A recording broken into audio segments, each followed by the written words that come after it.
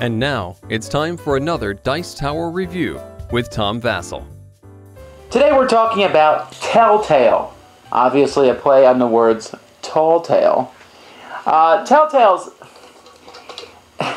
It's not really a game. It's it's more of an activity. You're, yeah, you're just telling a story. Now we all like to tell stories. Uh, some people can tell stories. I like to tell stories. The story of Gangrene the Green Gorilla, and the story of Polly the explorer who found the seven lost cities of candy. She didn't find all of them yet. Okay, well, eventually, by the time Melody's 18, we will, we Polly will finish her story, probably, hopefully, maybe. Anyway, I like to tell stories. Lots of people like to tell stories. This is kind of a tool to help you tell stories. Let's take a look at it.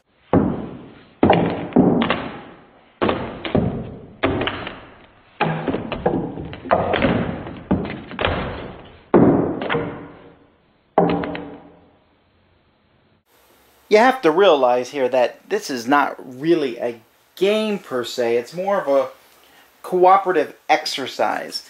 In fact, the rule book here, uh, Telltale, has rules for multiple different games in here, but in reality, they're all the same game. Okay, whether you're drawing from one pile or each person has six cards, basically works like this. We take the pile and we turn the card over and we start some story. And so I can say, once upon a time, there was a boy whose father was very poor, but then he won the lottery. But as his father was coming home from work that day, he got bit by a snake and died. So the boy was very sad, but he was able to surf the internet and found a nice adoption agency.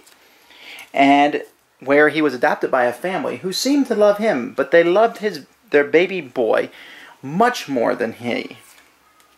So he decided to become a world famous mountain climber. Okay, this is a ridiculously terrible story.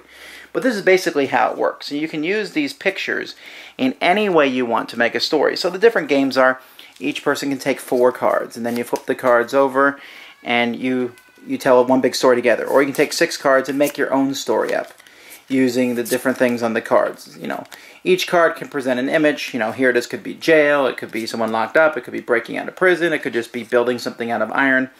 It could just be about hands. I mean, really, there's no kind of limits to here.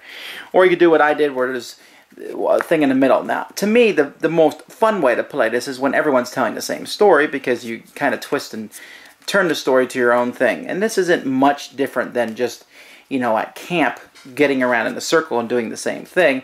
Only here you basically have what amounts to a prop with different pictures on it that allow you to tell the story. So that's the game.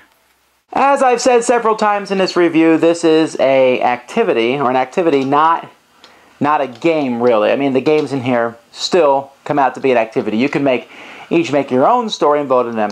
I'm very happy with the artwork. I'm very happy with the variety of pictures. The whole thing just lends itself to just telling stories. Now, granted, you could argue and say you don't need this to tell a story, and that's true, but it is a nice little device that helps you. But let's see what the kids think. What do you think of Telltale? Because I like to tell stories. So you like it? Alright. Amy, what do you think of Telltale? I like it because it when we keep on passing it on, it turns into funnier and funnier stories. Okay. Melody? I really like the game because I also like telling a lot of funny stories. Yeah, and the game lets you. I mean, what's uh, you know, it's just really funny because you'll be telling a story, and someone else will turn over the next card, and they'll completely change your story. Yeah. A character who was a hero suddenly dies in the next one, or Gets married. gets married. Gross, right? All right. So there you go. Tell tale. Thanks for joining us today.